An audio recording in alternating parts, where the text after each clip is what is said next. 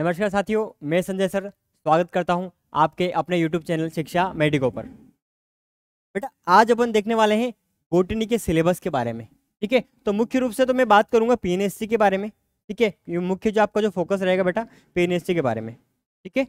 लेकिन जो अभी मैं जो आपको सिलेबस बताने वाला हूँ, ये सिलेबस है बेटा एनसीईआरटी बेस पर है ठीक है? तो यही सिलेबस आपको नीट में भी वर्क करेगा पीवीटी में भी वर्क करेगा यानी कि जितनी भी जो आपकी एंट्रेंस एग्ज़ाम होगी, जिसमें आपको, अगर आपको क्या पूछा जाता है, अगर आपको पी अगर आपको एन से रिलेटेड कोई क्वेश्चन अगर आते हैं, ठीक है, वैसे सभी एंट्रेंस एग्ज़ाम में एन आती है, ठीक है क्लियर है, बस सबका लेवल क्या होता है अलग अलग होता है तो सिलेबस लगभग लगभग सभी के लिए यही सेम रहेगा, ठीक है, और आज अपन बात करने वाले बेटा बोटनी के बारे में अपन बात करने वाले हैं बोटनी के सिलेबस के बारे में बात करने वाले हैं, ठीक है कौन कौन से टॉपिक पूछे जाते हैं, उसके बारे में आपको बताने वाला हूँ, ठीक, चलो तो सबसे पहले बात कर ले भाई बोटनी। बोटनी को हिंदी में क्या बोलते हैं? तो इसको हिंदी में बोलते बेटा, वनस्पति विज्ञान। वनस्पति विज्ञान। ठीक है? और मेन में किसकी बात कर रहा हूँ अभी? मैं अभी आपको बात कर रहा हूँ पीएनएसटी की बात कर रहा हूँ। ठीक है? और पीएनएसटी क्या है बेटा? ये एक प्रकार से क्या है बेटा? ये प्रवेश परीक्षा है। क्या है? प्रवेश परीक्षा। ठीक है? क्लियर है? और अगर आपको किसी एग्ज़ाम की तैयारी कर रहे हो ठीक है? तैयारी से कर, करने से पहले अपने को उस एग्ज़ाम का पैटर्न पता होना चाहिए। एग्ज़ाम का एग्ज़ाम का पैटर्न कैसे? एग्ज़ाम की अगर मैं पैटर्न की बात कर रहा हूँ तो वो एग्ज़ाम किस पैटर्न पर हो रही है? जैसे कि बात करते एग्ज़ाम कौन लेता है? ये एग्ज़ाम पी भी करवाता है। लेकिन इसका पैटर्न ये रहेगा बेटा सिलेक्शन का पैटर्न नहीं रहता है इसका पैटर्न रहता है रिजेक्शन का पैटर्न रहता है। ऐसा क्यों? कि भाई आपको चयन नहीं करना है वो आपको रिजेक्ट करेंगे वो आपको निष्कासित करने वाले हैं। जो एग्ज़ाम ले रहे हैं ना बेटा वो पेपर ऐसा बनाएँगे कि ज़्यादा से ज़्यादा बच्चे क्या हो जाए रिजेक्ट हो जाए। बात बुरी लगेगी आपको, लेकिन ये सत्य है। क्यों, ऐसा क्यों? क्योंकि लाखों बच्चे एग्ज़ाम दे रहे हैं ना बेटा। ठीक है, हज़ारों बच्चे एग्ज़ाम दे रहे हो, सीटें तो कुछ हज़ारों में ही है। ठीक है क्लियर है? टोटल सीटें तो अठारह सौ के समथिंग ही सीटें, दोनों को मिला के गवर्नमेंट कॉलेज और डीएमई दोनों को मिला के टोटल अठारह सीटें। लेकिन बच्चे जो फॉर्म भरेंगे, हज़ारों में फॉर्म भरेंगे, है ना? ठीक है, अगर बच्चे हज़ारों में फॉर्म भर रहे हैं और सीटें कम है तो पेपर तो उनको टफ बनाएँगे, सही ना? ठीक है क्लियर है? तो आपको पेपर का जो एग्ज़ाम का जो पैटर्न है, उसको समझ के अपने को तैयारी करना है। ठीक है? तो पेपर का पैटर्न कैसा है? वो रिजेक्शन का पैटर्न है, ना कि वो सिलेक्शन का पैटर्न है। ये चीज़ आपको समझ में आई? है ना? ठीक है? तो पेपर तो अपने को देखो, पढ़ना क्या है? तो बेटा, पढ़ना ये है कि आपको, है ना, सिलेबस है ना आपको वो टॉपिक सारे पता होना चाहिए कि आपको ये पढ़ना है। लेकिन आपको इससे भी ज़रूरी चीज़ ये भी याद होना चाहिए कि क्या अपने को नहीं पढ़ना है। क्या अपने को नहीं पढ़ना है। इसी को बोलते बेटा स्मार्ट स्टडी स्मार्ट स्टडी बोले तो आपको सिलेबस के अकॉर्डिंग पढ़ना है। जितने आपके एग्ज़ाम में पूछा जाता है, उतना ही अपन पढ़ेंगे, बाकी काम खत्म। बाकी उनका वापस अगर आपको टाइम बचे आप वापस उन्हीं टॉपिक का अपन क्या कर लेंगे बेटा? रिविजन कर लेंगे। अपने को सारा नहीं पढ़ना है। कोई बोल जाएगा एनसीआरटी पढ़ना तो पूरी एनसीआरटी पढ़ लो आप। कोई मतलब नहीं उस चीज़ का। उसको स्मार्ट स्टडी नहीं बोलते। उसको बोलते गधे की मेहनत, है ना? तो अपने को मेहनत तो करना है। लेकिन स्मार्ट तरीके से। मैं अगर बोल दूँ, भाई स्मार्ट स्टडी करो, आप स्मार्ट स्टडी करो हार्ड वर्क मत करो तो विदाउट हार्ड वर्क अपन कुछ नहीं कर सकते। मेहनत आपको करना है, लेकिन स्मार्ट तरीके से पेपर के पैटर्न को ध्यान में रखते हुए। ठीक है? क्लियर है? तो अभी आपको बस ये ध्यान रखना क्या आप लोग को नहीं पढ़ना है, ये ज़्यादा इंपॉर्टेंट है, और क्या पढ़ना वो तो इंपॉर्टेंट है ही ठीक? चलो, अपन बात करते हैं भाई बोटनी के कुछ टॉपिक्स के बारे में।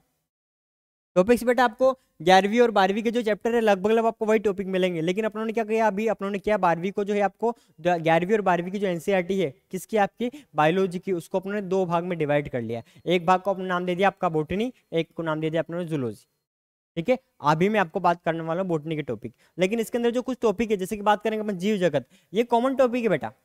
ये बोटनी में का भी मान सकते हो, जूलॉजी का भी मान सकते हो। तो अपन इसको काय में पढ़ेंगे बेटा? जीव जगत बोले तो आपका लिविंग वर्ल्ड इसको अपन काय में पढ़ेंगे? इसको अपन पढ़ेंगे बोटनी के अंतर्गत पढ़ेंगे। ठीक है? क्लियर है?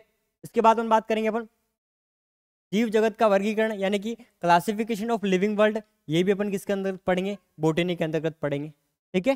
क्लियर है? लेवल जो हर एग्ज़ाम का अलग अलग होता है। अगर नीट की बात करूँ, मैं एम्स नर्सिंग की बात करूँ उनका लेवल अच्छा खासा होता है तो उनको अपने को डिटेल में पढ़ना पड़ता है। लेकिन अपनी जो एग्ज़ाम है ठीक है, इसका लेवल थोड़ा सा क्या है? पीएनएसटी का लेवल थोड़ा सा क्या है? डाउन है तो अपने को क्या करना पड़ेगा बेटा? अपने को एनसीआरटी पढ़ना है, लेकिन उस लेवल तक नहीं पढ़ना है। ठीक है? यदि अगर अपने को सिलेक्शन चाहिए तो अपन क्या जितने अपने एग्ज़ाम में आते हैं, उस लेवल तक अपन पढ़ा देंगे। ठीक है?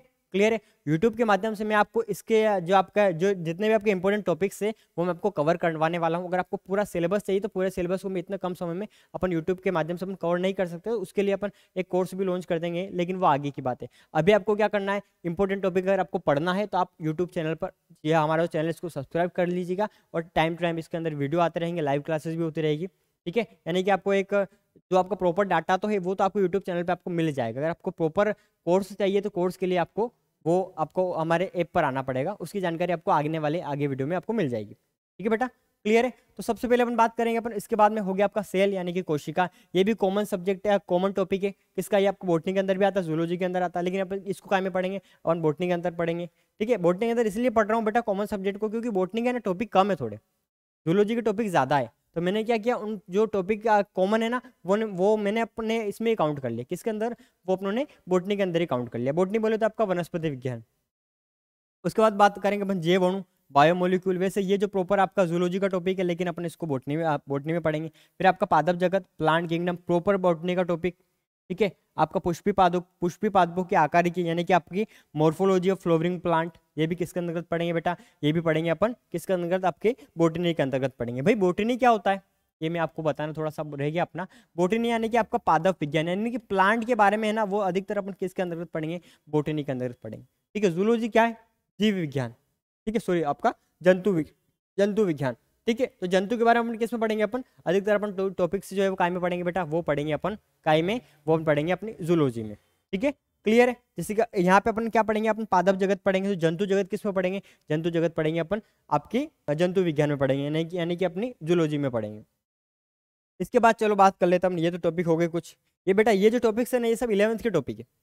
ठीक है? इलेवंथ के में आपको मिल जाएँगे। उसके बाद बात करेंगे अपन आपके पुष्पी पादपों की आपकी आकार पुष्पी पादपों की शरीर की पुष्पी पादपों का शरीर ठीक है? इसको इंग्लिश में बोले तो आपके एनाटॉमी ऑफ़ फ्लोविंग प्लांट ये भी अपन अच्छे से कवर करने वाले हैं ठीक है? बेटा शारीरिकी और मोर्फोलॉजी यानी कि आपका शारीरिकी और आकारिकी दोनों में, में आपको थोड़ा सा माइनर डिफरेंस होता है। शारीरिकी यानी कि क्या होता है बेटा? जो अंदर शरीर है अंदर के शरीर के शरीर के अंदर जो पार्ट है उनकी स्टडी करना और आकारिकी यानी बाहर का शरीर कैसा है उसकी स्टडी करना। जैसे कि मैं आपको दिख रहा हूँ ठीक है? तो ये मेरा बाहर का शरीर का स्ट्रक्चर है लेकिन मेरे अंदर क्या है?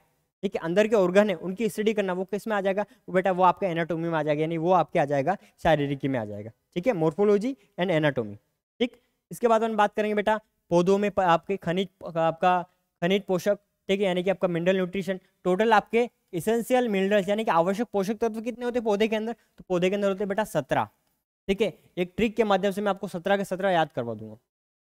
कोई दिक्कत नहीं। ट्रिक भी आपको बहुत जल्दी आने वाले वीडियोस में मिल जाएगी। ठीक, उसके बाद बात करेंगे अपन पौधों में परिवहन, यानी कि ट्रांसपोर्ट इन प्लांट।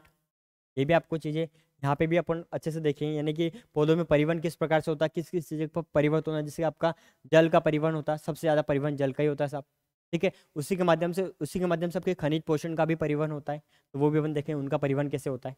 ठीक है ओटू का परिवहन होता है। ओटू भी तो होती है ट्रांसफ़र होती है। ठीक है उसका भी विस्तरण विस्तरण के माध्यम से उसका भी परिवहन होता है। ये सारी चीज़ें अपन किसमें देखने वाले बेटा? वो सारी चीज़ें अपन पौधों के परिवहन में देखने वाले हैं। फिर आपके उच्च पादपों में प्रकाश संश्लेषण, यानी कि आपको फोटोसिंथेसिस इन हायर प्लांट्स, ये भी अपन देखने वाले हैं। जो पौधे जो है अपना भोजन किसके माध्यम से बनाते हैं बेटा? तो वो बनाते हैं आपके प्रकाश संश्लेषण के माध्यम से, यानी कि आपके फोटोसिंथेसिस के माध्यम से। उसके बाद अपन नेक्स्ट बात करेंगे अपन पादपों में श्वसन, यानी कि रेस्पिरेशन इन प्लांट। ये टॉपिक भी अपन अच्छे से कवर करने वाले हैं। ठीक है? क्लियर है? उसके बाद हम बात करेंगे अपन पादप प्रद्यम परिवर्धन तो इसका एक और टॉपिक आपका पादप प्रद्यम परिवर्धन, जिसका, जिसको हम इंग्लिश में बोलते हैं आपका प्लांट ग्रोथ एंड रेगुलेटर जो जितने भी आपके हार्मोन्स है ना बेटा हार्मोन्स वो अपन यहाँ पे स्टडी करने वाले उसके बाद बेटा, पुष्पी पादपों में लैंगिक जनन, ये ट्वेल्थ का टॉपिक आ गया बेटा twelfth N C twelfth bio का टॉपिक है, ठीक है, शायद सेकंड नंबर का टॉपिक आपका सेकंड चैप्टर ही है, पुष्पी पादपों में लैंगिक जनन, इंग्लिश बोले तो आपका sexual reproduction in flowering plant sexual reproduction in flowering plant ठीक है क्लियर है? इसके बाद है आपका जैव जैव एवं समस्या जीव एवं समस्या यानी कि आपका ऑर्गेनिज्म एंड पॉपुलेशन ठीक है? पॉपुलेशन वाला चैप्टर ये जो आपके इकोलॉजी वाले जो यूनिट है ना बेटा इकोलॉजी वाली इकाई इसके अंतर्गत है। पारिस्थितिक वाली जो इकाई है ना, उसके अंदर बात। उसके बाद बात करेंगे अपन परितंत्र यानी कि इकोसिस्टम यहाँ से बच्चे का से क्वेश्चन पूछे जाते हैं। उसके बाद आपकी जैव विविधता एवं संरक्षण। बहुत easy topic biodiversity and conservation जैव विविधता यानी कि जीवों में परिवर्तन। एक स्थान पर पाए जाने वाले जीवों में जो परिवर्तन होता है, उसको अपन क्या बोलेंगे? उसको बोलेंगे अपन जैव विविधता है फिर आपका बायोडाइवर्सिटी उसके बाद बात करेंगे अपन इन्वायरमेंटल इशू यानी कि आपके आपके पर्यावरणिक मुद्दे। ठीक है? इन्वायरमेंटल इशू ठीक है बेटा? क्लियर है? तो यहाँ पे जो आपका जो सिलेबस है, किसका? बोटनी का सिलेबस ये ओवर होता है। ठीक है? अब अपने को स्टडी कैसे करना बेटा? तो आने वाले टाइम पे आपको लाइव क्लासेस के माध्यम से इसी यूट्यूब चैनल पे आपको लाइव क्लासेस के माध्यम से आपको प्रॉपर जानकारी मिलती रहेगी। प्रॉपर अपन स्टेप बाय स्टेप अपन क्या करेंगे बेटा? अपन पहले कॉन्सेप्ट देखेंगे, ठीक है? अपन अच्छे से पहले कॉन्सेप्ट देखेंगे जैसे कि सबसे पहले अपन शुरुआत अगर करेंगे बेटा, शुरुआत अपन यहाँ से करेंगे। कहाँ से अपन? जीव जगत से शुरुआत करेंगे। जीव जगत के अपन छोरी अच्छे से पढ़ेंगे, उसके बाद अपन क्या करेंगे? उसी से रिलेटेड अपन क्या करेंगे? एमसीक्यू करेंगे। एमसीक्यू बोले तो उसी से रिलेटेड अपन क्वेश्चन को सोल्व आउट करेंगे। ठीक है? यदि अगर अपन इस माध्यम से अगर अपन स्टडी करते हैं, ठीक है? तो अपना डेफिनेटली अपना एग्ज़ाम में सिलेक्शन हो जाएगा। क्यों? क्योंकि अपन क्या कर रहे हैं बेटा? अपन समझ भी रहे हैं, फिर उन्हीं जो क्वेश्चन जो अपन पढ़ा है, उसके अपन प्रैक्टिस भी कर रहे हैं। प्रैक्टिस करना भी ज़रूरी रहता है। ठीक है? क्लियर है? तो अपन इस माध्यम से अपन स्टडी करने वाले हैं इसी यूट्यूब चैनल ठीक है बेटा? तो मिलते हैं अपन अगले वीडियो में। ओके तब तक के लिए ऑल द बेस्ट स्टडी करते रहिए और थैंक यू